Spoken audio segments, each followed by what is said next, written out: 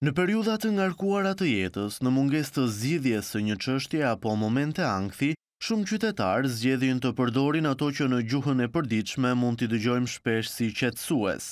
Përdorimi i barnave psikotrope apo benzodiazepinave siç njihen në gjuhën mjekësore, shpesh bëhet pa përshkrimin e mjekut. Specialistët janë të shqetësuar për përdorimin e këtyre medikamenteve pa recetë. Është problem përdorimi i barnave psikotrope pa përshkrimin e mjekut specialist psikiatër. Në tentativë për të vetëzgjidhur problemin, shkojnë për të kërkuar ndihmë, të themi, po që nuk është një ndihmë profesionale, sidomos tek farmacistët.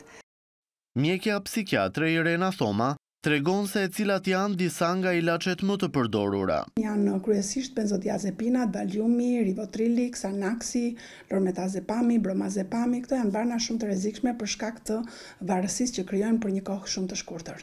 Përdorimi i medikamenteve pa kriter shkakton probleme serioze për pacientët, një prej të cilave është varësia.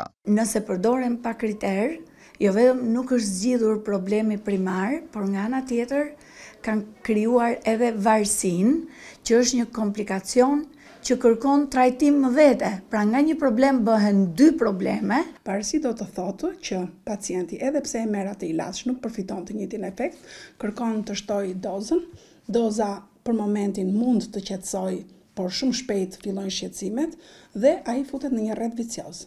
Sipas mjekes psikiatre Ariana Reli, pasojat nga përdorimi i pakontrolluar i medikamenteve kundër stresit mund të jenë edhe më të rënda deri në fatalitet.